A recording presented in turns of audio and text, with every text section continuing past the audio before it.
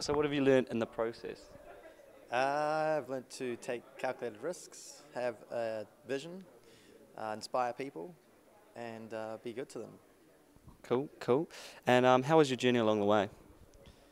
Uh, unpredictable and you know exciting, definitely worth it, but uh, different every year and never really being able to predict uh, what was going to happen. So all in all, I'd say it was probably the ordinary, average entrepreneur's journey.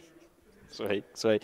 And um, how are initiatives like Spark important to helping people like you and students and upcoming entrepreneurs in starting their own businesses? Uh, I think the most important thing is it's getting to think about being an entrepreneur, which is challenge number one. People need to know that this is an option, and it's a really, really good option. And then number two, just preparing them to uh, um, understand what the key bits and pieces are that you need to know to start a business. So really valuable, and you know we couldn't have enough of them. I think. Okay, cool. Thanks very much. All right. Cool.